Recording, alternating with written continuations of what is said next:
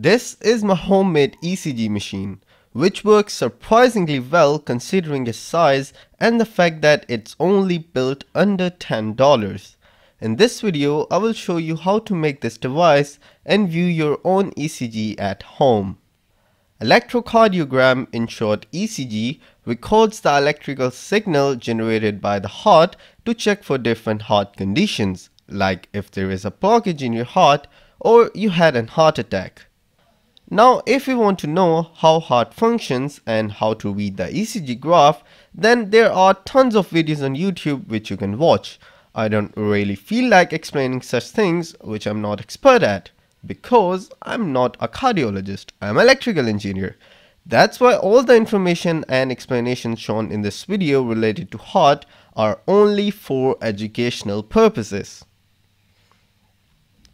Electrocardiography is a complete branch of medical science, but for the purpose of this video, all I want you to know is that it is a process in which we measure the real-time heart activity to determine the heart condition.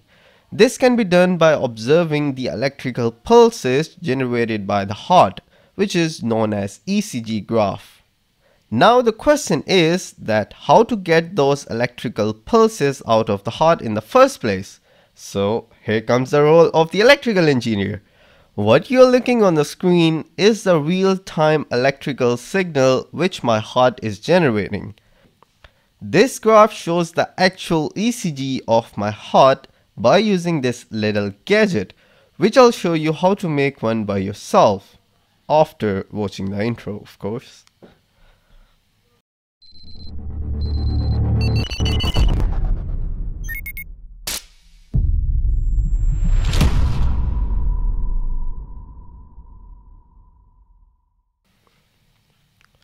The heart of this build is this AD8232 sensor module.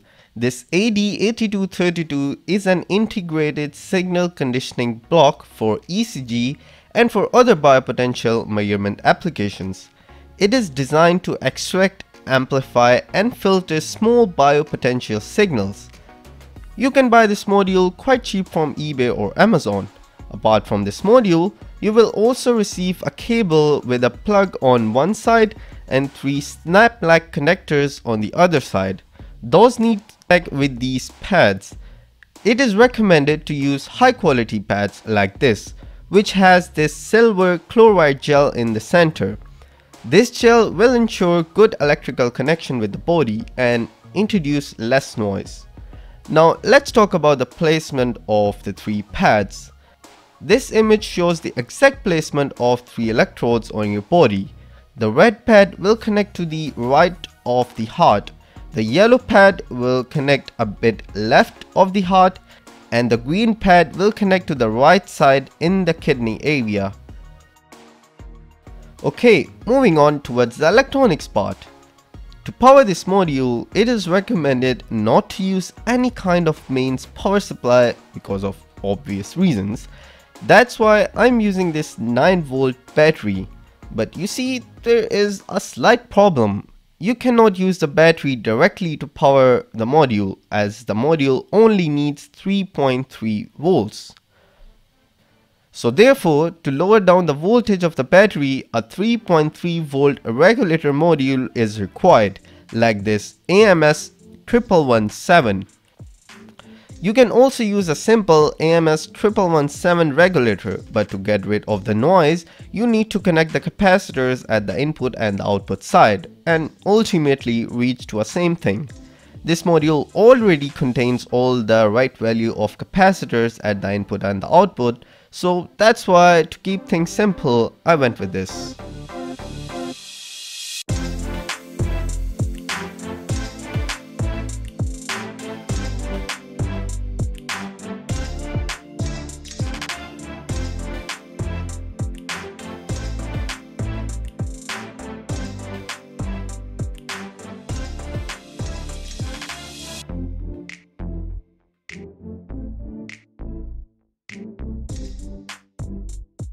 Now the power section is sorted, so we can move on and have a look at how we can display the waveform.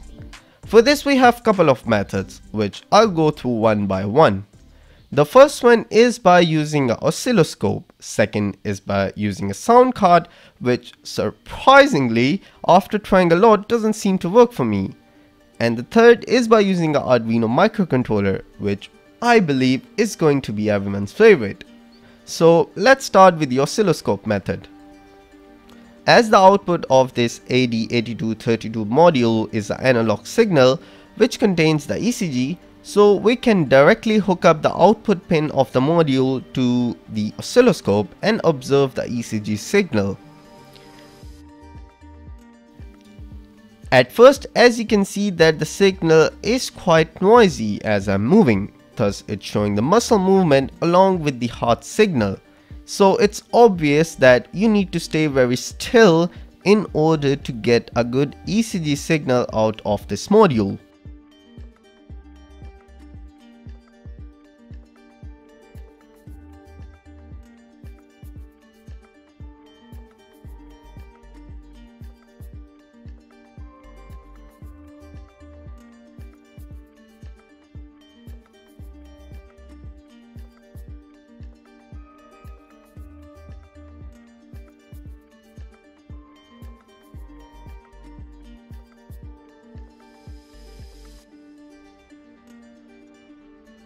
One good thing about using oscilloscope is that you can turn on the frequency measurement to see the heartbeat in seconds.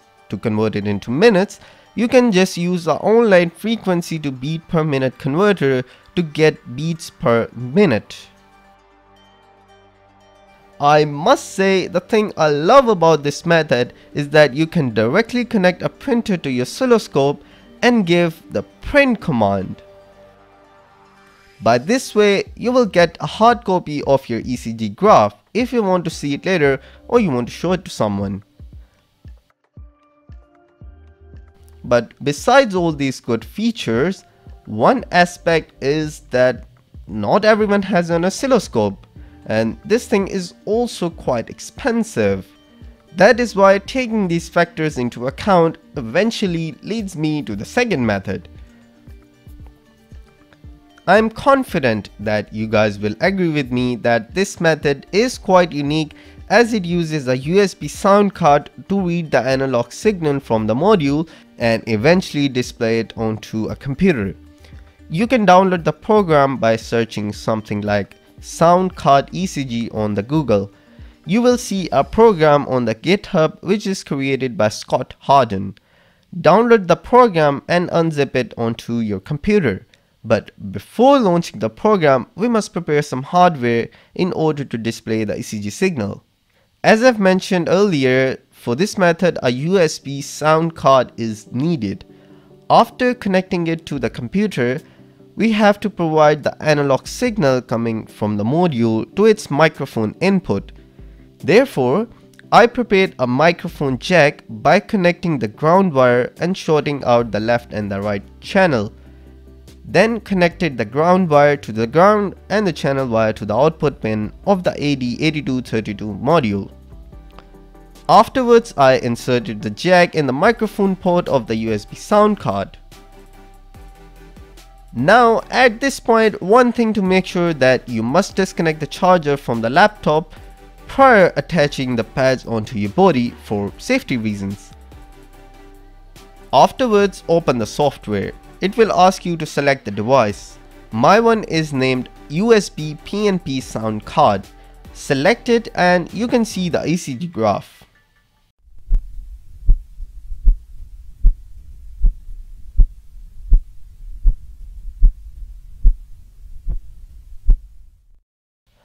Now as you can see that the graph is very noisy and no matter how still I stay it does not seem to reduce any noise. Moreover, if I zoom onto the signal, you can see it's not even an ECG signal. If this is coming from a heart, then I believe I'm not a human. This program also has a heartbeat detection system, which is also not that great. Let's just believe that it's correct.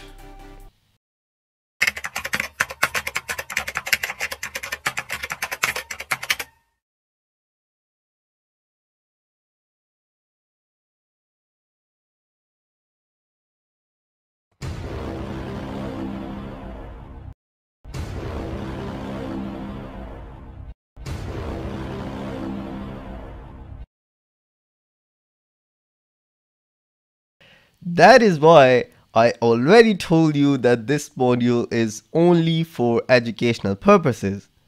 By the way, if you are wondering why I haven't used the built-in microphone port of the laptop, it will give me better results. Right? That's exactly what I thought, let's give it a try. I utilized a headphone connector and soldered its ground to the ground and the microphone input to the module output. So after inserting the jack in the microphone port of the laptop and selecting the external microphone, here's the signal I'm getting.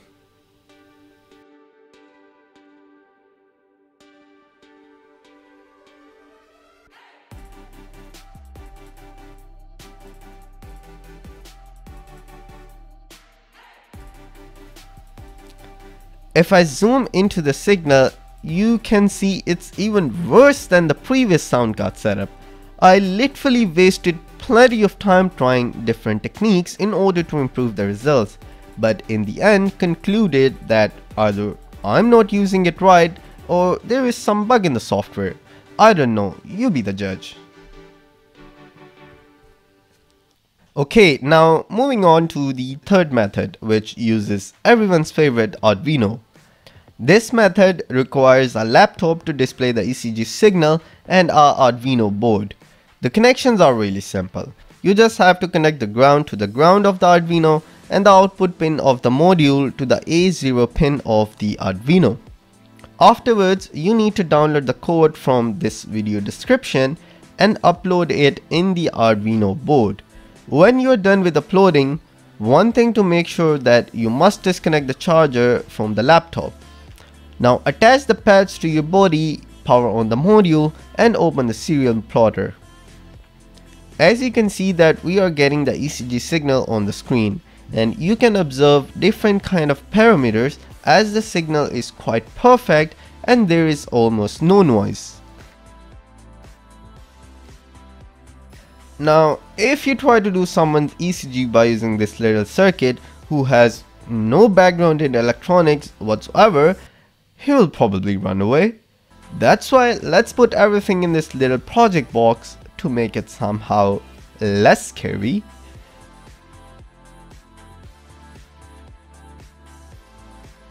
So let's do this.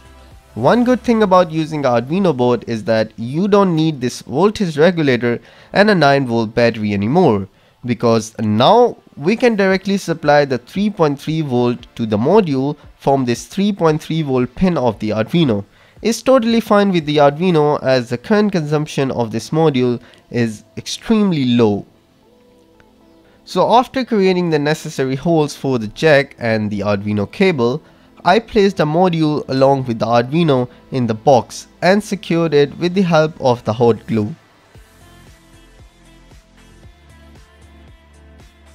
Afterwards, I connected the ground to the ground, 3.3 volt pin to the 3.3 volt pin and the output of the module to the A0 pin of the Arduino. Now it's time to close it all up and here is your homemade ECG machine. Connect the cables for the pads along with the Arduino on the other side, insert the USB cable in the laptop and upload the sketch. I already uploaded it before so I don't need to. Now open the serial plotter and here you have it, your own ECG signal in real time. You can also store the graph by simply taking a screenshot then print it or whatever you want to do. Now there is one question that I want to ask from you guys is that what would happen if you connect these pads to your body and insert this jack into your mobile phone and play some music. Tell me in the comments what's gonna happen. I am seriously curious. If you enjoyed watching this video and learned something new, then please like this video. It's the only thing that motivates me to keep the show going. Also, don't forget to subscribe to my channel and share this video with your friends. And I hope to see you guys in my next video.